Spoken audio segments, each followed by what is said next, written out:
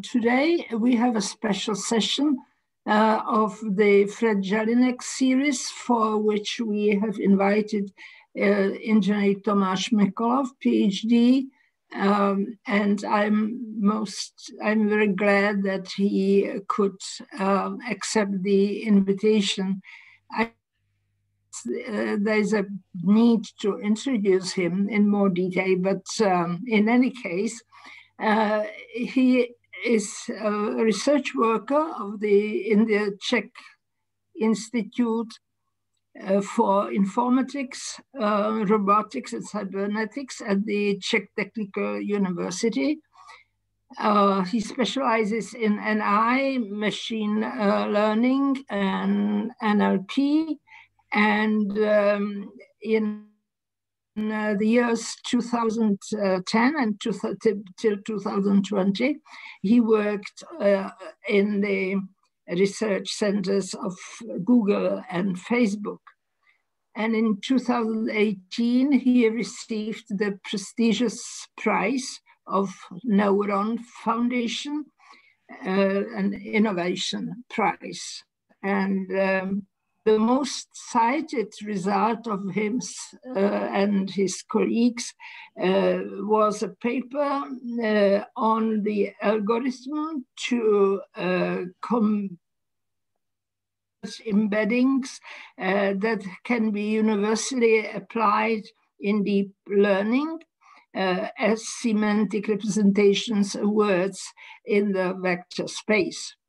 Uh, so uh, we are very glad, Tomáš, that you could uh, accept our invitation. I, I, am afraid it's mostly due to the COVID uh, epidemic because otherwise you would be busy traveling abroad. But now we have you with us and I'm looking forward to your talk on understanding language modeling. So it's your turn now. Okay, uh, thanks uh, for the introduction. And I would be certainly very happy if I could uh, come actually in person to the Charles University just because of the current situation. It's uh, it's not do doable, so we will have to do it uh, remotely as this. Uh, so just feel free to just interrupt me during the presentation if you want some clarification or anything, because I think it's just a bit more difficult to interact with people now that we are like meeting this way. So again, like just feel free to tell me if anything uh, goes wrong. Uh, I did uh, share my screen uh, with you, so I hope that uh, you can see actually everything. So I'm just starting the presentation, and uh, if anything goes wrong, then just tell me so that I just don't spend like 10 minutes talking about the presentation without you seeing the slides. so I hope everything is okay. And this presentation will be about like um, hopefully better understanding of the language modeling because I will be presenting my view of, on these things, like uh, um, what were like the uh, key uh, like uh, ideas uh, behind statistical language modeling over the last uh, almost a century. And that's of course my personal view, and I completely acknowledge that there are people who have different view and who think otherwise. But I think it's it's good always when people actually keep some diversity in the ideas. So I will be presenting my version of how I actually think uh, that uh, things are moving forward. Uh, so as for the basics, actually the language modeling is like very like rich and long history. Um, I would even say almost surprisingly because people were uh, thinking about uh, statistical models of uh, language already, already at a time when computers didn't really exist yet, like like Claude Shannon, who did who did obtain the Nobel Prize for the information theory, later uh, um, did go to uh, try to apply the information uh, theory to language. Uh, and he did uh, write this uh, very interesting paper about like predicting symbols in, in English and computing the entropy of the language. he used back in, his days like some very simple models called n-grams, which somehow turned out to be very, very hard to beat. And it took many decades of research to really like uh, not only come up with some ideas that uh, work a bit better, but something that really replaces n-grams in practice. Uh, so it was like very surprisingly uh, difficult problem to uh, invent uh, better better techniques for modeling the language. Well, Claude Shannon's estimate was that there are something like 0.7 to 1.3 bits of information per character in English, but uh, these numbers don't really tell us much because, uh, uh, well, as as you, you can imagine, there's a lot of like other choices that that you need to make. Whether you make all the letters uppercase, lowercase, if you discard some special symbols, if you count spaces or end of lines uh, characters. So I would say this is just very rough uh, number. And anyways, uh, people could beat it later, at least the upper bound, upper estimate. Like in my thesis, I think I did get to some like 1.2 bits, but certainly with more data and uh, bigger models, it would be possible to get much lower than that. So I think it was uh, it was very uh, insightful work in its time, and it did influence a lot of people. Later, there there was actually Fred uh, Fred uh, Jelinek who was uh, like inspired by by Claude Shannon's information theory and who did follow on his ideas about like uh, using uh, math uh, and applying it to language to build some some models of the language and that resulted in a lot of like famous results like um, like everybody knows these days so the, the statistical models of speech and and language and for machine translation like many of these ideas were either invented or like uh, hugely improved by by the group at IBM that was uh, that was headed by Fred. Uh, so I think that uh, that was uh, that was quite exciting to see uh, like all these uh, amazing people who did work on this problem before me. There was also like a lot of people who did see like even like AI behind language. Like uh, if we could build uh, some good models of the language, then we should be able to even like answer like like very like interesting um, like uh, problems. Uh, let's say if you have a intelligent language model that uh, gives you a probability of a sentence, where actually like sentences that make sense should be uh, having higher probability if you train on a corpus that actually contains the truthful sentences then they should have higher probability than the sentences that are false. Uh, so if we have, would have actually a really good language model now, now i'm not talking about ngrams but really like some good language model then we should uh, be able to solve uh, problems like question answering simply by con concatenating questions and answers and computing their probability for different uh, variants.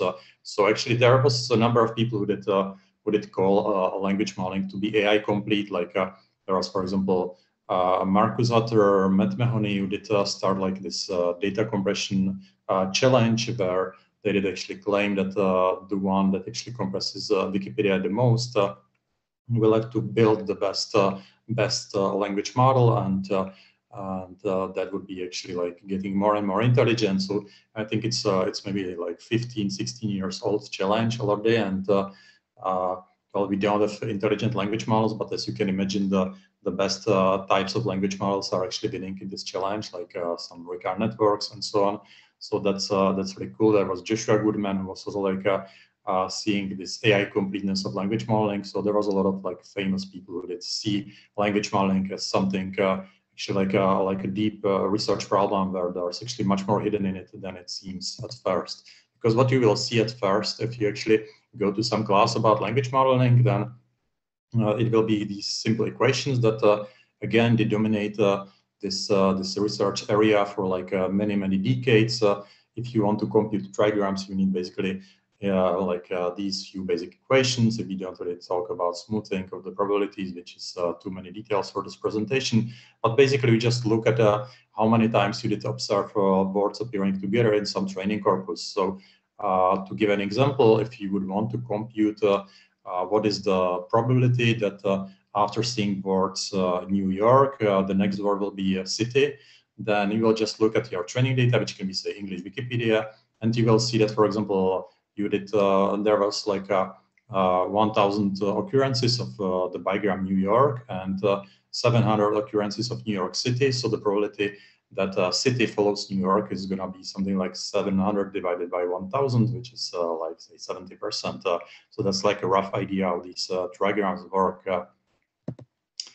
and it actually sounds very simple, but I think it was already like Claude Shannon who did have this interesting observation that uh, ngrams would be actually optimal if we had uh, infinite amount of data and if the n actually would be infinite as well, uh, which I think is uh, kind of like almost like a philosophical uh, like uh, idea in a sense. Like you can think of the whole universe whether there's actually a finite number of combinations of what can happen over time or whether the universe is infinite and the number of combinations is gonna like uh, continue like forever. So again, it's more like a philosophy, but uh, but still like uh, I think it's interesting to realize that n-grams can be actually uh, pretty good. Uh, and again, like this was already observed in the mid of the previous century.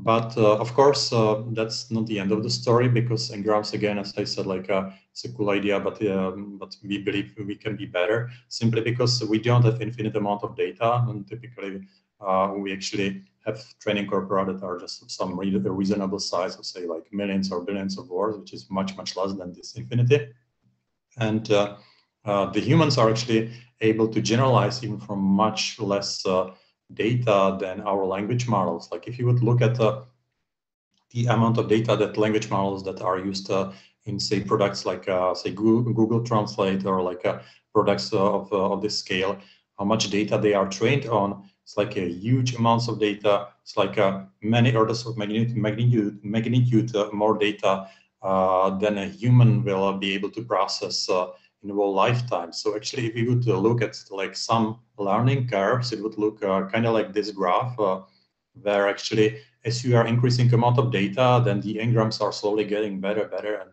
and so on. But the humans can actually do much, much better with limited amount of data than the n-grams. So we simply learn more regular, regularities from less data than the n-grams do. So this is kind of like empirical observation uh, that uh, goes back to Claude Shannon, we did see that actually humans are better than the n-grams, uh, and we can increase the amount of data for n-grams, but uh, it's kind of like uh, fooling ourselves uh, that we are building AI while we are just building some some larger lookup table. So I think that uh, that's one thing to realize that uh, yes, we can train models on more data, but if we actually care about uh, building these kind of like intelligent models, then we should really think about how can we learn more regularities from some fixed amount of data. Well, there was, of course, like a lot of criticism for these approaches. Like uh, I think maybe the most famous one was from Noam Chomsky, who did uh, who did uh, make this claim that the notion probability of a sentence is entirely useless one under any known interpretation of this term, which uh, which is certainly like very harsh criticism. Uh, he did even like give concrete examples uh, what we can't actually ever solve with language models by forming sentences. One of them is grammatically correct, the other one is incorrect, but both of them actually contain bigrams, like just the words that are next to each other are very, very unlikely to ever happen together in some sensible text. Uh, well, as it turns out, uh, if you use actually some some better models of the language than n-grams, say neural networks again, then uh, they will be actually uh, quite easily able to distinguish uh, which sentence is actually grammatically correct and which one is more likely to occur and which one is not. I think I did even show this in my thesis. I don't exactly remember how much more likely the correct sentence was, but uh, I think it was like a thousand times maybe. So, uh, so it was uh, actually I think this idea from Noam Chomsky was uh, was nice, but uh, suddenly it turned out that it can be solved by simply just building better models of the language. Well, then, uh, as I said, there was a lot of researchers who did see uh, like uh, language modeling as something interesting and who did try to overcome the n-grams because of, um, because of the known issues uh, uh, that uh, everybody basically did feel that the n-grams are so in advance that we should be able to do better. And there was like a, a lot of ideas, but I did uh, divided them into these few categories because I think that there's a little a lot of redundancy that many ideas have been reinvented under different names. So there was the word clustering, where actually just say that, for example, Monday, Tuesday, Wednesday, and so on. Like uh, these days, just describe very similar concept and just uh, are different in some slight way. So if you can actually cluster these words together in some way, uh, then you can build more like robust models that can uh, see like uh, mm, uh, that can form, for example, uh, like uh, longer n-grams or like see more training examples because you will be not having so much variability that will be coming from say synonyms. Uh, and uh, the other area was, uh, I will actually get back to the word clustering later, but the other big area was the cache models where actually people observed that, say, names in the training data uh, seem to kind of like occur together in some piece of text. Like if you have Wikipedia article about some person, then it's quite likely that even if that person's name is very unique. Uh, it will uh, like occur several times in the article, but it will not occur in other articles. so in other words, the words can like trigger themselves to occur. And the simplest way how this can be kind of like uh, approached in language modeling is that you will just build some kind of like a smallish model from the recent history. It can be even unigram model from the last thousand words, for example, and you will interpolate it with, with your trigram, model that's been estimated from all the training data. And that actually works quite well and uh, simple to simple to understand and implement. Uh, and of course, it has many different names because the cache models are like uh, very, very easy to replicate in uh, different uh, instances. Like there are topic models that are doing pretty much the same thing, and uh, quite a few, quite a few others. then there are like the huge category of these uh, linguistically motivated approaches where people would uh, use part of speech tagging or like statistical parsers where uh, the idea was clearly like to overcome the limitation of the n-grams that they see just uh, this very short history that uh, maybe we can actually use the the like uh, uh, knowledge of the linguists uh, to incorporate them into statistical language modeling and to improve the models of the language based on the understanding of the of the linguists. and again, like many combinations of these were invented. So there was, for example, just to give a few examples, there was this WordNet database where um, people would create a database of how words are related to each other. Uh, of course, like um, if it's for English, you may have a problem if you want to have the same for, say, Czech. Uh, can always translate the words, but there can be some inaccuracies. Uh, uh there are like the tree banks, uh, which again, like uh, were originally invented for the English or used in the case of English. there were like other like famous examples, like for other languages. I think one was for Czech from the Charles University. Basically, the idea was that you can annotate these sentences and uh, like by humans and create these uh, large databases and then try to build parsers that can actually do these annotations automatically and use this somehow to, for example, improve machine translation or the statistical language modeling. Uh, well, to, uh, to continue on this, uh, there was this, uh, in my opinion, like very insightful and interesting technical report from Joshua Goodman, who did actually take many of these ideas and he did just evaluate pretty much all of them that he could implement easily and uh, uh, even combine them together to see which ones are redundant uh, and which are actually necessary in this combination. And uh, well, pretty much ended up with, with these uh, with these approaches that I described, that the cache and the and the clustering ideas are like the very important ones. However, there was this one negative part of or like one negative conclusion of his work, which was that as you are increasing amount of training data, which you can see on the x-axis, uh, then the improvements that uh, you get from these uh, various models over a baseline, which was just a trigram in its case, uh, so it's actually not even like say five gram, which would be much more, much better, especially on the large data sets. Uh, then the improvements improvements were actually decreasing. And then there was the conclusion that many people did make. I think even even Joshua in his report was that if you would have really a lot of data, then actually the n-grams are just fine and you can't do better. And I think that was uh, kind of like depressing conclusion for many researchers. And uh, I would say, like uh, when I started uh, myself as a student working on language modeling, I did see that uh, most of the people were just hopeless about the area, and they did believe that uh, there's not much to be to be discovered in this area. Like even if the the whole community, and not the whole community, but a large part of the community was uh, convinced that the n-grams uh, can be beaten somehow uh, since like the days of, uh, of Chomsky and, uh, and Kratochvík and, uh, and Claude and so on. Then the practical conclusion was that after all these attempts, there's basically no hope. If you use large data sets, then just the n-grams will, will work fine and we will never get this human-like performance of the language models. so that was it. But of course, like there was still more to come uh, because we didn't end up in 2001. And uh, actually, there was like um, some other ways how to compute. For example, the clustering of the words. Uh, uh typically, if you would use the uh, like old style clustering, say Brown clusters, uh, then you would assign every word to a single class. And while it was working well, as, as Joshua was showing, it was working less well with more data.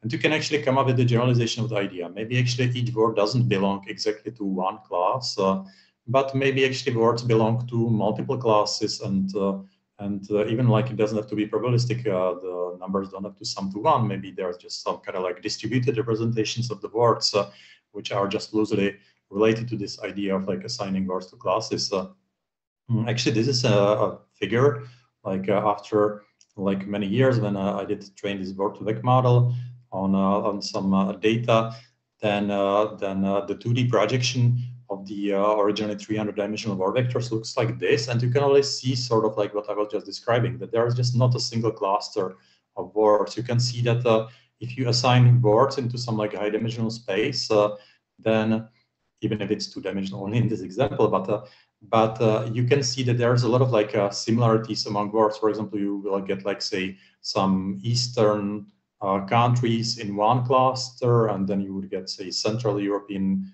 countries in another cluster and the Southern European uh, countries in yet another cluster, and that the capital cities are clustered in like a similar way, just shifted in some direction.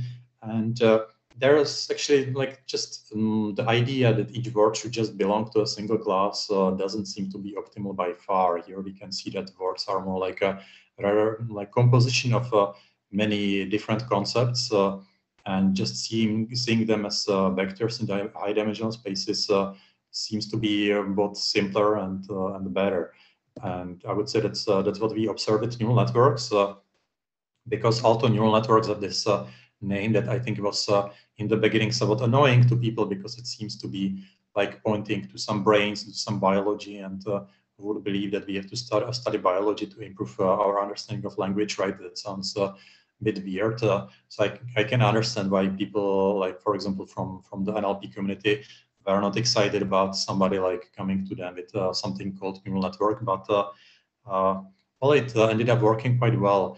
Uh, these models started being used quite successfully, a lot of like since 2001, I think.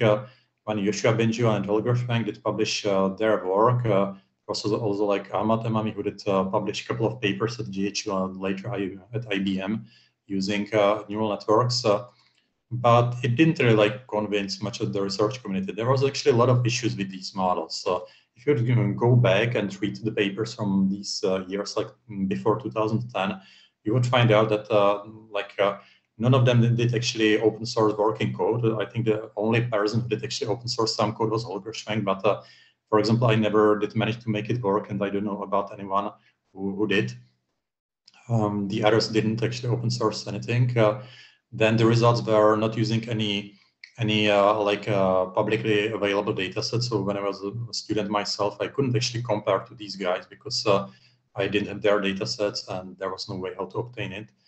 And uh, also, like if you would really read these papers, you would find out that uh, mm, all of them did struggle like when uh, the amount of data did go above say 1 million words uh, because the performance did drop uh, but the training times were getting uh, like uh, very long and the performance the gains over n-grams were actually vanishing uh, um, so it wasn't actually looking that exciting and mm, there was also like a lot of mistakes which which at the time of course nobody did know but there was a lot of myths i remember when i was actually at at montreal at uh, Yoshua Bengio's group in 2011 at an internship. I was there like for half a year, and uh, I was talking with uh, with Yoshua, and he was convinced actually back in the days that uh, that uh, uh, because of the number of combinations that you can express with uh, with neural network hidden layer that is, for example, just 100 neurons, that the number of combinations grows exponentially with the size of the hidden layer.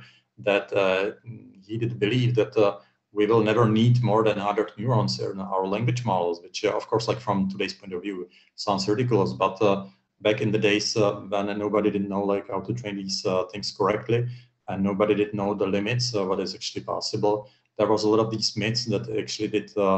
Uh, um, that was actually the real reason why these models were not used because they actually didn't really work because nobody did have good implementations. then I did actually come with this a recurrent neural network language model, which was like original in several ways uh, at once. Uh, I also did work on it like for maybe four years before I did publish it, so it wasn't actually that simple and easy as, uh, as it seemed to many people. Uh, well, mathematically, it's very simple. It can be described by a few equations, but I also did publish it together with uh, with uh, open source code and uh, together with uh, uh, together with the data sets and it actually did work uh, better and better the more data you would use. Just it was slower and slower, of course. That was uh, the main issue. And uh, in 2011, I did publish this this graph, which I think convinced finally a lot of people from from companies, like for example Geoff Zweig from Microsoft Research, who did later invited me for an internship in his group. And this graph basically shows like the green line is the baseline where we have like the word error rate on some difficult IBM uh, data sets uh, like speech recognition broadcast news. Uh, and then you see as you are increasing the size of the hidden layer, which is like the x-axis, then the neural networks and uh, their combination with the n-grams and some variants of them are working better and better. So clearly you can see that if you would have the computational budget to train even big, bigger models, then you can expect uh, even uh, even bigger improvements. Uh, and that was quite exciting, exciting to a lot of people. And um, of course, like we know what followed, like we had last the decade of like a larger and ever larger models trained on more and more data, like with all this GPT one, two, three, four, five, and so on. Uh, so that there was uh, there was uh, like obviously going to happen. Also, like I can show this this graph. I try to find the state of the art on this uh, Penn Bank dataset, which wasn't actually public before I did publish it on my website, but it was used by by uh, students of Fred uh, Jelinek at uh, Johns Hopkins University and uh, some of their colleagues from other universities who did uh, manage to get a copy of the data set. Uh, and you can actually see how big breakthrough these neural networks and the ideas in these neural networks did make around like 2010 when actually the perplexity dropped by, by I think 50% almost for the state of the art. so it was like a huge improvement. Of course, like it was uh, it was before like a, task uh, that uh, not that many people did work on because language modeling that usually have just a couple of papers per year at say interspeech or uh, ICASSP, con ICASSP conferences and it was believed to be not worth like even the effort but after this this uh, huge improvement, there was this deep learning boom that we did see that uh, all the NLP conferences that jump uh, uh, to uh, work with these neural nets. Uh. so back to like what was what was important, I would say neural networks are certainly not anything about the brain, but it's just better version of the clustering. Uh, it's not just clustering of the words, but actually clustering of the histories. I think it's even more obvious in the recurrent uh, uh, neural network architectures that you don't want to just put the the words with similar meaning into the same class or similar class but you want to actually cluster the whole histories. If you just shift a few words here and there, then the histories can make uh, exactly the same sense and you want actually to share parameters among them. And that's actually what the neural networks can be doing uh, as the mathematical models. Uh, and then, of course, the obvious idea is to use big data sets and big models. Uh, in my thesis, I did show that uh, that the improvement that you get over the n-grams is increasing with the amount of data, which uh, was like very surprising at its time. And I think it uh, got a lot of people excited about uh, the potential of these models. And uh, from my current point of view, it was completely critical to open source the code and have the public data sets because otherwise the progress would be much, much slower. when I did, for example, uh, get a job at uh, Google Brain. when I joined Google, I I did find already a couple of people there who did uh, spend like months by re-implementing my code into Google 3, which was like the internal uh, Google code base. Uh, and uh, that would not happen if I would not open source it. And uh, it was similar at Microsoft Research and IBM and uh, a couple of other companies that were actually starting to work on recurrent networks and neural language models by just downloading my code and learning how to things how to do things from there. So that's the that's kind of like for the history and what worked and uh, to explain that um, like uh, what uh, what uh, ideas were important in this uh, language modeling research uh, but um, but what can we actually do further so that we would get closer to this human performance? Because even if neural networks are better than the n-grams as I was showing in the in the graph in the first the first slide like here if you think of neural networks, they would be kind of like somewhere between the green line and uh, the green curve and the red curve, uh, but they certainly are nowhere close to the human performance. So there still is much uh, that we can do to, to actually get uh, get better. And the question is, how do we actually get there? How do we invent some new models that would be beating the current version of the neural networks uh, and um, uh, which models can actually learn more regularities from the data than the current ones. well, of course, that's a that's a big question, and I will present uh, the rest of the presentation a couple of ideas. So I'm approaching it myself. Uh, of course, the easiest approach how to get better results is to train larger models and more data, which seems to be like a, the never-ending story. And I I think we will see uh, like uh, this again and again for like uh, next couple of years. but but back to like these learning limitations, there are actually some very simple tasks that we can define. We can construct some some uh, some like uh, uh, data even algorithmically that contain regularities that uh, uh, the typical neural network uh, models don't really learn to capture.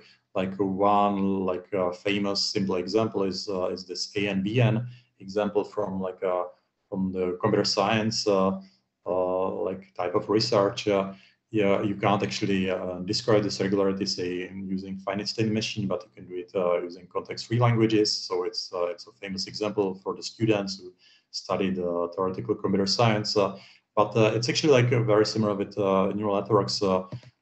we did actually invent some some special architecture that can learn like these type of regularities, and that's because it doesn't have the memory uh, just in this uh, like hidden layer as, as, it's typically done in a recurrent network. Uh, but it, it learns to control the memory that is that is having some sort of topology. So there are some notion of of items being on top of the stack or like uh, at the bottom of the stack and somewhere between. And the stacks are actually like inflatable, like uh, at least in the mathematical version of the model, you can easily like uh, see that you can be putting like uh, more and more items on top of the stack. It's uh, it's kind of um, like in the end uh, a special version of the hidden layer, uh, which um, just like uh, has again like a topology over the items instead of uh, like being fully connected as, as is the baseline, the normal recurrent network.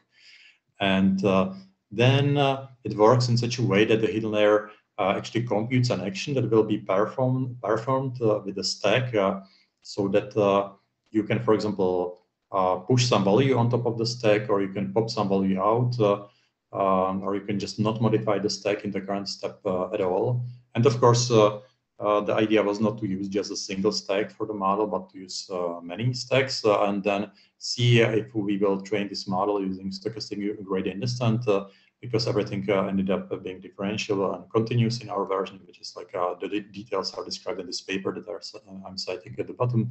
But we wanted to see whether it will be able to solve the tasks for which like it seems that naturally you would want to be like using some some memory that uh, that you can expand on demand and uh, it kind of worked although it was not easy at all uh, we could we could learn tasks uh, that uh, normal recurrent networks or LSTM networks didn't learn to generalize from. Like like in these cases, you learn, for example, some memorization tasks using short examples, and then you test the same model whether it actually can solve examples that are longer but with the same regularity.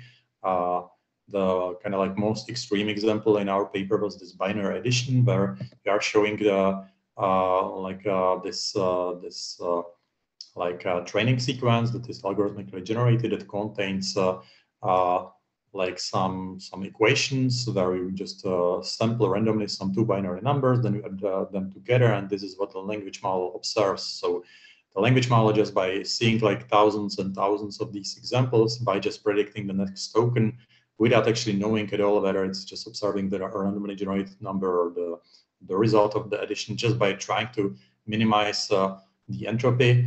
Uh, the, the language model actually did learn to solve the, the, the this task, this binary addition. It did learn actually the algorithm of like adding uh, numbers together.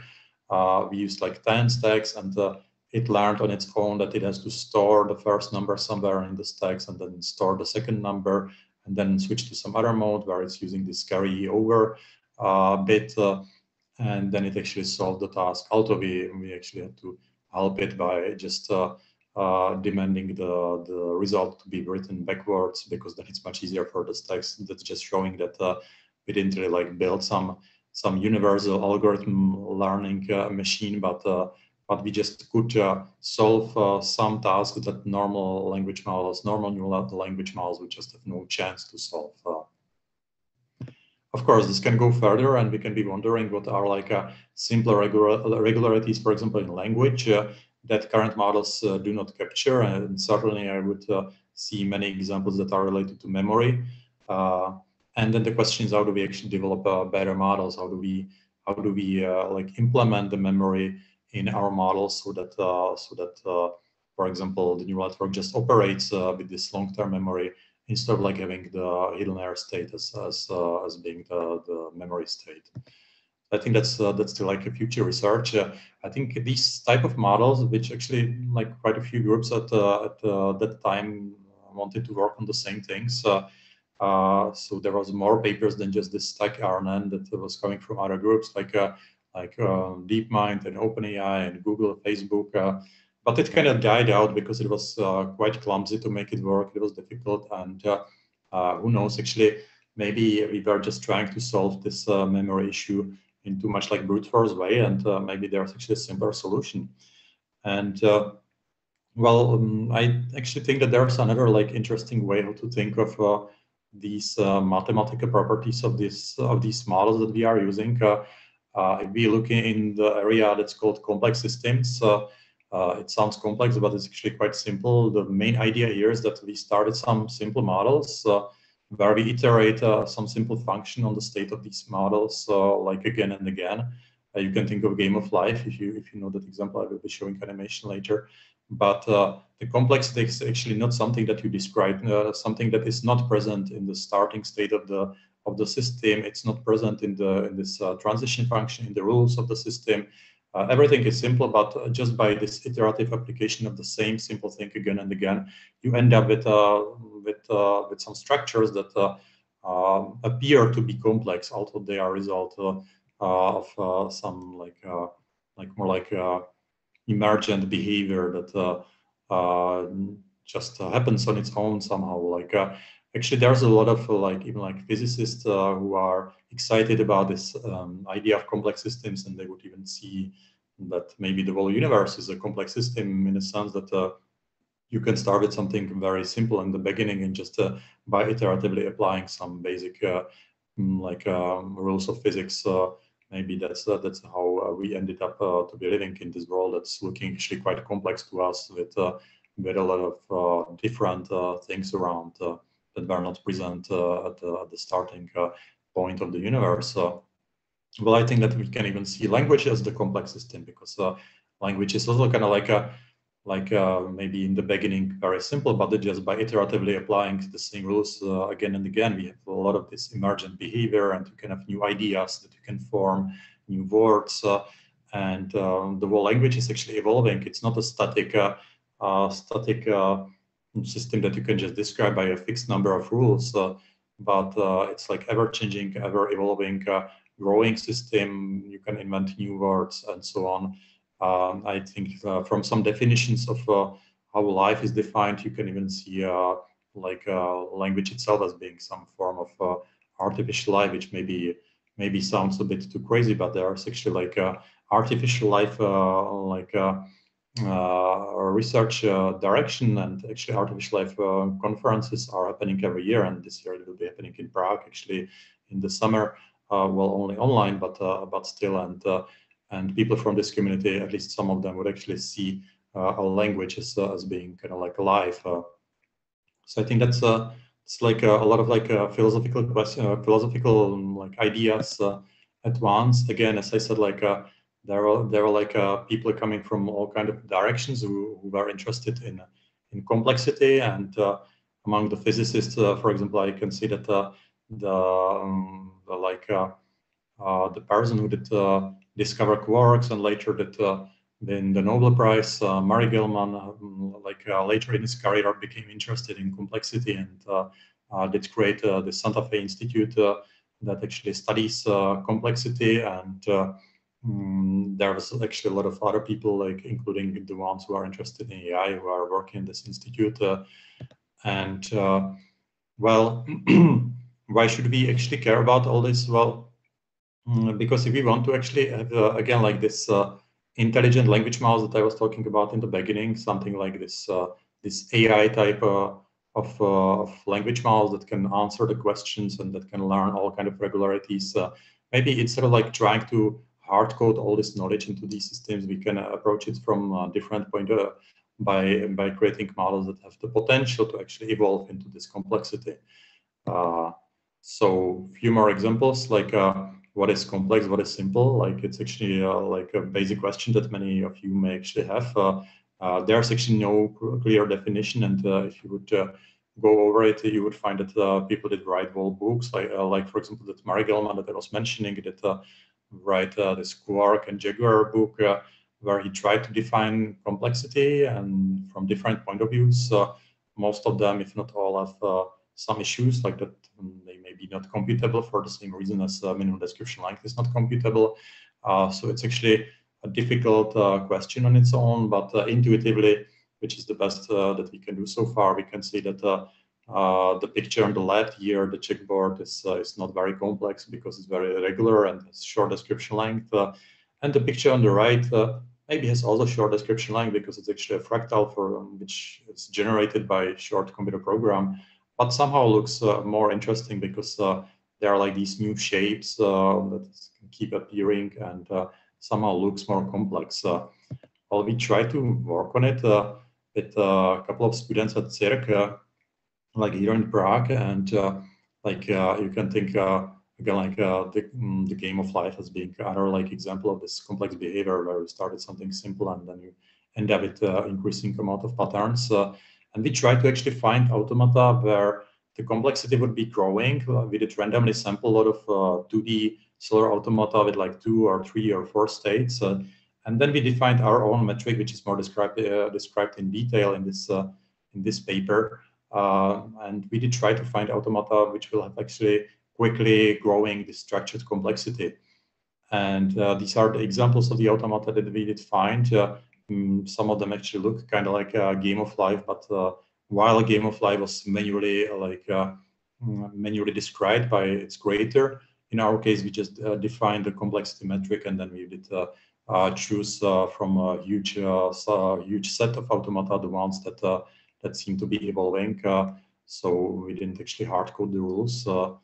And uh, it's actually looking kind of like a game of life, but again, we can do the same for like 3D automata or 1D automata with whatever number of states. Uh, so that was quite uh, quite interesting uh, for us. Uh, we also try to um, like develop a technique that can classify the automata because uh, even in the previous example, if I would show you the typical behavior, um, that would be quite boring because it would be looking like white noise, like 99% of the automata that you randomly sample will will be behaving chaotically, which uh, which uh, really like looks like white noise. Nothing interesting is happening. Uh, some fraction of the automata will be, uh, on the other hand, looking very boring. Like all the activity in the state uh, space will very quickly die die out, uh, and the remaining class is the interesting one where actually you have this growing complexity where some new structures seem to be appearing over time and that's again like uh, shown in these uh, in these figures uh, and in this uh, in this paper with Barbora Hudcová we did come up with a technique that can actually distinguish these automata automatically into these three classes either the boring class or the chaotic class or the or the complex class it's, it's, it has been published at this Artificial Life conference uh, last year. So for the conclusion, uh, well, I did present maybe some philosophical ideas, uh, maybe too much, uh, but uh, but I think that uh, if we want to advance in language modeling further, and not just by training bigger models, but um, by actually inventing some new techniques that can learn from the same amount of data more than the previous techniques, then we should be thinking about like what the current models are doing um, like insufficiently uh, and what could be the types of mathematical models, uh, like uh, forms of mathematical models that would have properties uh, that the current models do not have. Like uh, if you look at the main difference between say n-grams and uh, neural networks, then neural networks can do very well the clustering of the histories, which n-grams are simply not capable of. and I think that we should be looking at the next step, like looking at what what the neural networks are not at all capable of, and then coming up with models that uh, can actually model this uh, this type of uh, this type of regularity. And I think that what I was showing in the in the second part of the presentation, either these these neural networks that learn to operate with a memory that has a topology, or these models were actually uh, kind of like this complexity is spontaneously arising that uh, all these can be like uh, interesting replacements in the future for for neural networks because they have properties that uh, neural networks do not have. Even if you can actually see that, uh, like the cellular automata that I was showing uh, at the end, they can be seen as a special version of, say, recurrent convolutional networks with stepwise activation function. That's that's all nice, but there's actually quite a few more things to be said about it. But if you take normal neural network, it will really behave in this chaotic regime. There will be no complexity uh, increase. And uh, to give maybe one more motivating example, if you think about, say, text genera generation that uh, became so popular nowadays, then you can generate like well stories and sentences from neural network language models. I think I, I, had the first implementation of that uh, in the world, actually, in that uh, recurrent network language modeling toolkit that uh, I was describing. It was already like open source in 2010 because I was showing these uh, text generation examples uh, quite a bit uh, back then. But what I observed was that if you try to get something interesting out of these models, for example, by generating a lot of text and then retraining the model on top of this text, then you will actually not really ever get to something interesting. Uh, you, you will either degrade the model that it will just reinforce the same sentences that it will just keep generating the same thing again and again by training it on what it generated uh, or it will stay at best uh, the same. So the distribution uh, will basically not really change. Uh, or if we would want to uh, build models that can keep generating new and sensible texts and get kind of like better while doing it uh, which people actually are capable of this then uh, I think that we would have to think of these models that are actually, again, like uh, something new and sensible, structured uh, can emerge as in these evolving complex systems. just to explain why humans would be able to do it, just imagine that you learn basics of some language, then you can write a book in that language, and then you can write uh, yet another book uh, that can actually extend the ideas in the first book. And uh, if you would have infinite amount of time and energy, you can actually keep writing forever new books where you would be inventing new words, new concepts, uh, and just uh, creating your own world in the language. Uh, well, we are capable of that. our current version of neural, neural language models are not capable of it. So there is a potential to create some new generation of uh, mathematical models that can um, like model this type of complexity and uh, I give here like a couple of ideas uh, in what direction we can be looking at. Uh, but certainly there's uh, much more to discover. And uh, whenever we improve the language modeling technology, we get like a very interesting uh, outcome. Like uh, we could have seen that neural networks that completely like reshape how Google Translate works. it's very useful, and I believe that once we develop the next step, it will be even like exponentially more useful than, than currently language models are. So thanks uh, for the attention. That's uh, the whole presentation, and uh, we can we can go for the questions. Thank you, thank you very much. Um, I think it was a very interesting